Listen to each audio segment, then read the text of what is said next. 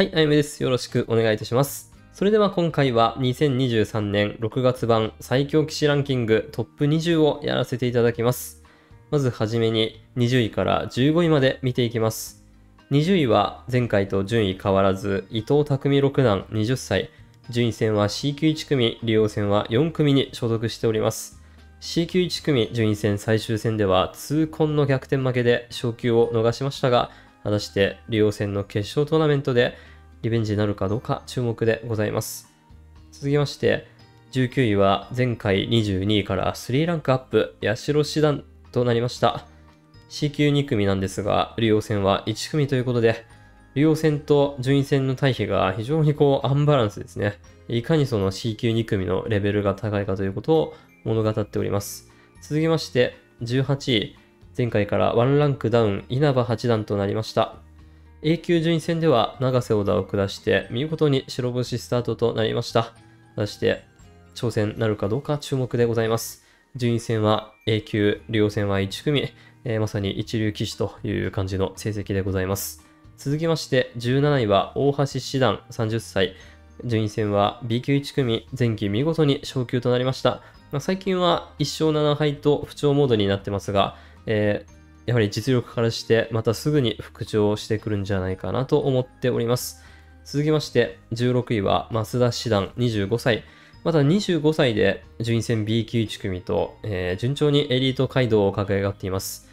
B 級1組初戦は見事に白星で、えーこのままの勢いで A 級入りなるかどうか注目でございます。前回から40ポイント近く下がって、えー順位も4位ほど落ちてしまいましたが、えーまた上がってくるんじゃないかなと思います。続きまして、15位から11位まで見ていきます。まず第15位は本田五段25歳。えー順位戦は C 級2組、利用戦は4組に所属。C 級2組最強クラスの1人、えー各棋戦で上位進出の安定感となっております。まあ、前回はあと一歩でトップ10入りというところまで行きましたが、まあ、そこから一旦15位まで落ちると、そういう形になりました。え続きまして第14位は佐藤天彦九段35歳。え順位戦は A 級、利用戦は1組、え超一流の証ですね。安定感抜群の元名人でございます。前回から1ランク落ちて14位。えそして13位は近藤手段。前回10位から3ランク落ちて13位。26歳。順位戦は B 級1組、利用戦は3組に所属。前期順位戦は連敗スタートから来て、これはちょっと高級まであるかなと思われたんですが、え後半大爆発で終わってみれば A 級昇級まであと一歩という素晴らしい成績を残しておりました。果たして今季どうなるか注目ですね。え続きまして、12位は服部六段23歳。えまだ若いんですが、各棋戦でリーグ入りとか決勝トーナメント入りを果たしておりまして、タイトル戦登場も間違いなく近づいていると思います。順位戦は C 級1組、両戦は5組所属となっております。続きまして、第11位、佐々木勇気八段28歳。今までタイトル戦登場がないのが不思議なぐらいの実力者。順位戦は悲願の A 級昇級、そして利用戦は2組となっております。前回から2ランクダウンで11位となってしまいましたが、す、えー、で、にトップ10常連となっております。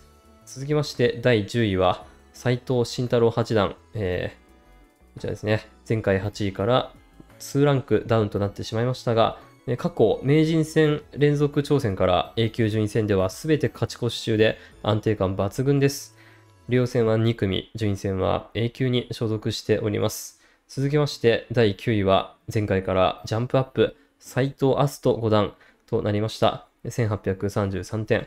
えー藤五段が1800点に到達するのは、えー今回が初めてとなります。現在まだ24歳。昨年の今頃からレーティングが100点ぐらい急上昇。順位戦は C 級1組、両戦は5組に所属しています。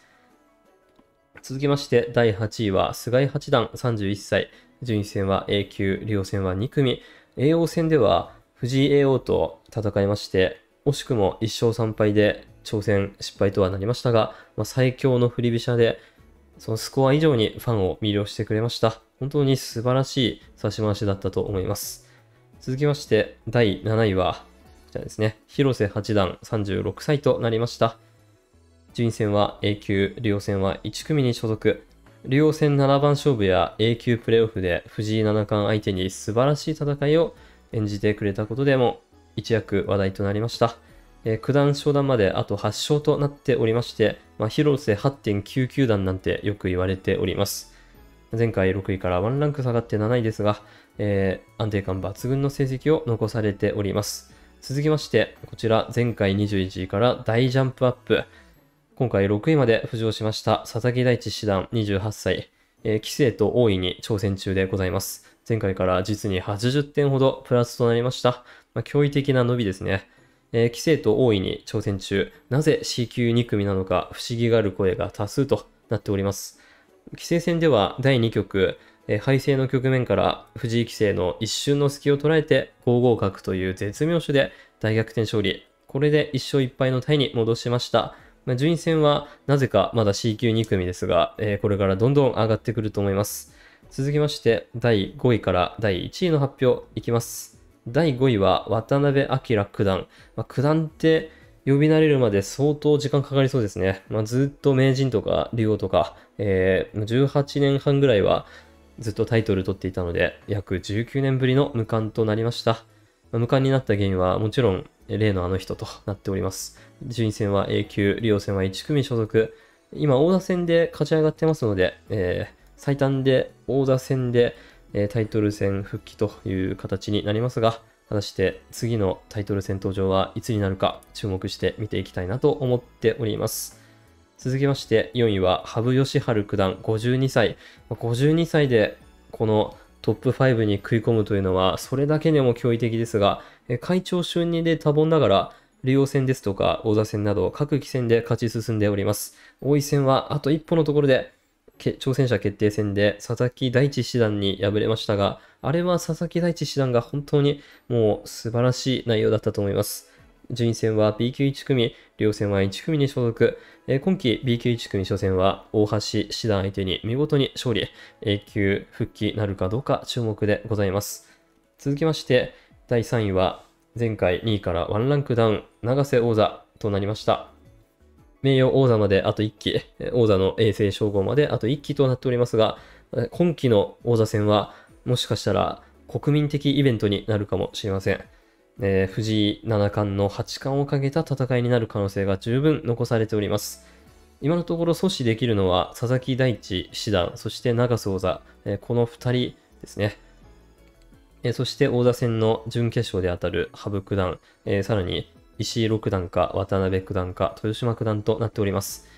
永瀬王座、順位戦は A 級、リオ戦は1組に所属、え超一流棋士として知られております。続きまして第2位は豊島九段33歳、順位戦は A 級、リオ戦は2組に所属、王座戦はあと2勝で挑戦、果たして連続挑戦になるかどうか注目でございます。豊島九段も前回から16点上げまして、2位に返り咲きとなりました。豊島九段が2位に返り咲きするのは本当に久しぶりですね。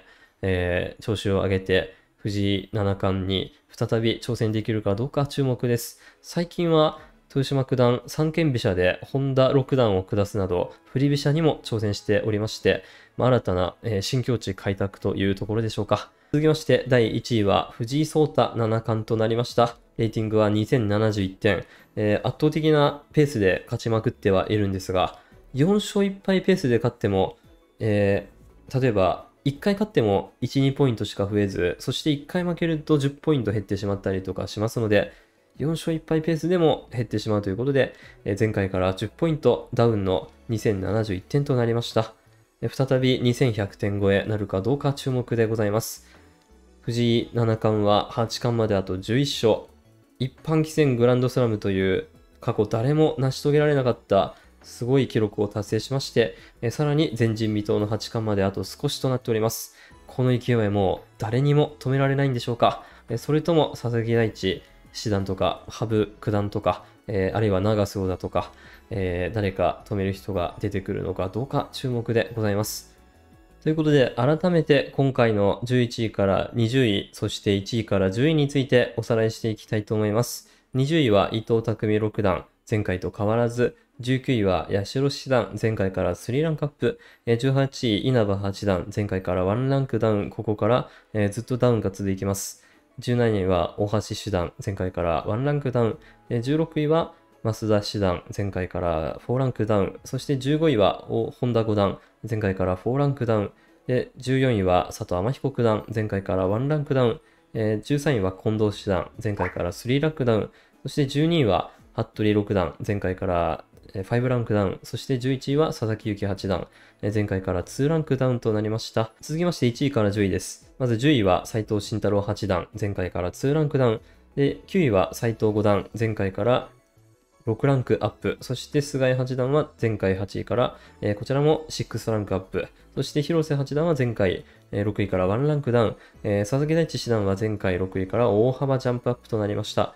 えー、前回21位から大幅ジャンプアップとなりました。そして渡辺九段は前回4位から1ランクダウン、えー、羽生九段は前回5位から1ランクアップで4位、えー、長瀬王座は前回から1ランクダウンで3位、えー、豊島九段は前回から1ランクアップで2位、えー、1位は藤井七冠変わらず、もう本当に3年ぐらいずっと変わらずですね、えー、このまま10年、20年、30年と変わらずとなるのか、それとも藤井七冠を脅かすようなスーパースターが誕生するのか注目です。